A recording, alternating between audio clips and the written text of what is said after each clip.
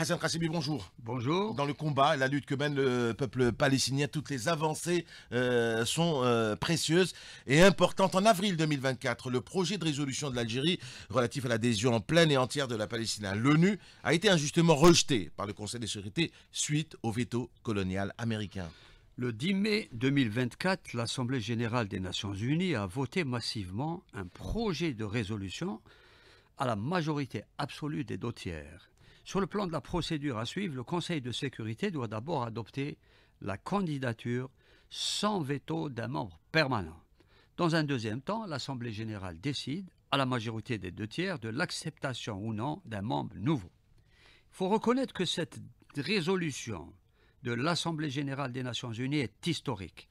Elle exprime la volonté des nations du monde de soutenir la cause juste de la Palestine, cette résolution est un dur camouflet au monde occidental, mis en minorité. Cette résolution aussi ne peut être considérée comme symbolique, comme le rapporte faussement la, presse occidentale.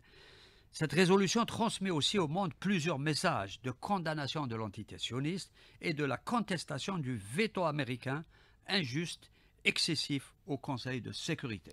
L'histoire retiendra, Hassan Qassimi, que l'entité sioniste et les neuf pays qui se sont opposés à une telle résolution sont disqualifiés, isolés, foncièrement retranchés dans le camp des bourreaux et des criminels qui font la guerre à la paix.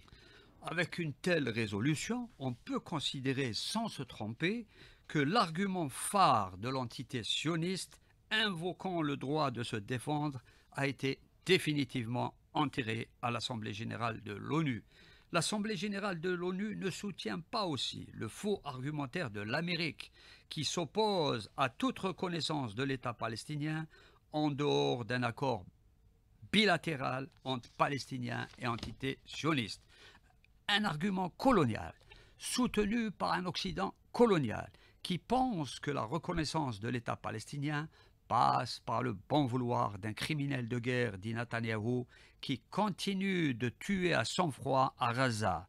L'entité sioniste vient de donner une autre preuve qu'elle est de nature terroriste. Son représentant au sein de l'Assemblée générale des Nations unies a déchiré la charte de cette organisation, affichant ainsi son mépris et sa violence à l'égard de 143 pays qui ont adopté cette résolution. Au devant de la scène, comme dans un théâtre de faussaires, l'Occident continue toujours de nous évaluer, de nous donner honteusement des leçons et des questionnaires sur la démocratie et la liberté pour nous humilier et nous affaiblir en nous traitant de régime politique autoritaire alors que l'Occident est le géniteur des piranhas et des requins dans le royaume pervers des fausses démocraties occidentales qui continuent de soutenir les génocides de Raza.